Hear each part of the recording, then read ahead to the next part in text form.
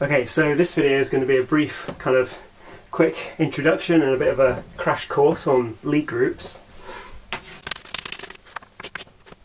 So I'm going to try and stay kind of away too much from the definitions and just kind of rely on examples and intuition.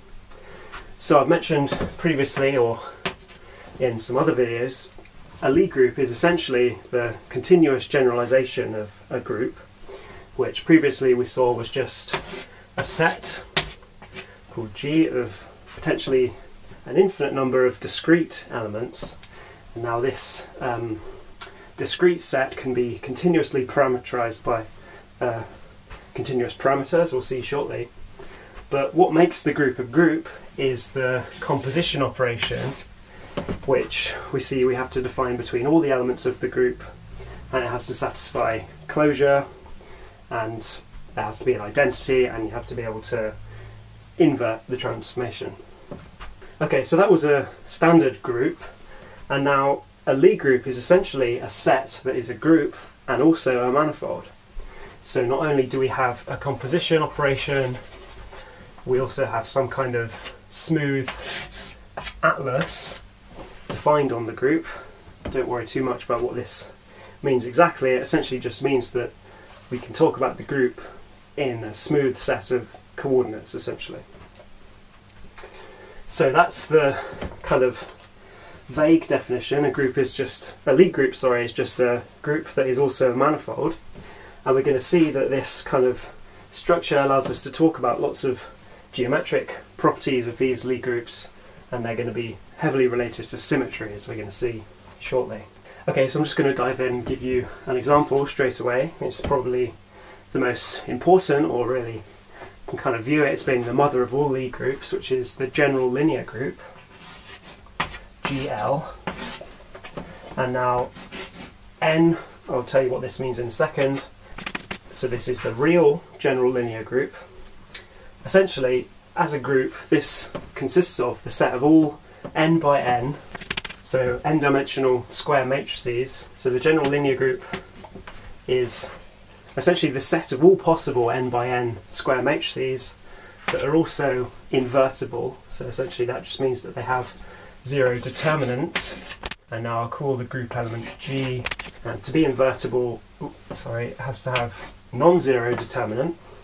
This is kind of a vague statement about the general linear group. It's essentially the group of all n by n matrices, and now you can convince yourself that, well, we can compose matrices and they're also going to remain an n by n matrix, so our composition is closed. And then, of course, uh, the matrix multiplication we require to be invertible through this condition, so invertibility of the composition is satisfied and then of course we have the identity matrix. So this is a group, I haven't shown it rigorously, just kind of proved it by waving my hands, but essentially this is going to be a group and it's going to be uh, represented by these n by n matrices. So how on earth is this a manifold? Well, first of all let's just remember what we mean by manifold. Essentially it's just a topological space or a set. That would be the group part and then we need to define on that set some kind of chart, which is essentially a map from the abstract topological space set into some copy of the real numbers. So how do we do this with Lie groups, and in particular these matrix groups as they're known? So if I just take a simple example of a 2 by 2 matrix, it's going to have four components, which we call the matrix elements, so this is a 2 by 2 matrix, it's going to have four independent matrix elements. And now what we do is we essentially just say, okay, each of these matrix elements represents one of our real coordinates. So if you like, you can think of each of these matrix elements as being their own individual map into some copy of the real numbers, and so on.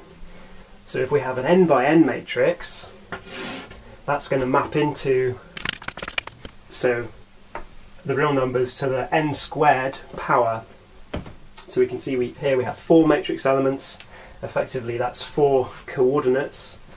And yeah, these coordinates are just a map from the kind of abstract element, which is the group element, the matrix, into some concrete real number space. So you should view the matrix elements now of a GL matrix. They're essentially just the coordinates of the manifold, which is kind of being described by this Lie group. And then, of course, the more matrix elements you have, you're going to increase the number of coordinates you need by n squared. So in the case of the general linear group, we would say that we have n squared parameters, which is the terminology used in the kind of group case, essentially just the same thing as coordinates in this case. But now for the case of more kind of complicated Lie groups where we've defined more kind of intricate structure, we're not going to have n squared parameters. It's going to be reduced by some particular amount depending on what extra structure we've imposed. So you might say, for example, impose that we want to have the determinant equal to 1, for example. Then that would impose a condition on the matrix elements. We'll just quickly do that. If we say that det g has to be equal to 1, what's the determinant? Well, it's ad minus bc. If that has to be equal to 1, this is effectively constraining our coordinates in some way. And we might, for example, be able to then reduce the number of free coordinates down in number. So we'll see this in a second, and now this is kind of getting to the point of why the general linear group is so useful is because essentially it is, if you like, the largest Lie group that we can construct because it's, well, it is a very general Lie group, it's just any possible invertible matrix that you can write down. And now all other Lie groups are going to be able to be realized as subgroups or subsets of an appropriately large general linear group. And we're going to see that they don't have n squared free parameters, but it's going to be related to the kind of extra structure which we've defined on the group. Okay, so that was the general linear group. I'll just quickly go over and summarize again. Essentially, the general linear group as a set contains all possible n by n matrices that are invertible. And now we realize this as being a manifold by essentially letting each of the matrix elements of the group elements, they each are described by a real space, so they're effectively given coordinates, and each of the matrix elements in the general linear group is an independent coordinate. It can take any value, it's not constrained by the other matrix elements. But now as we move forward, we're going to see how adding extra structure, like for example, imposing a unit determinant is going to fix some of the coordinates in relation to the others, and we're going to reduce the number of free parameters to some number that's less than n squared.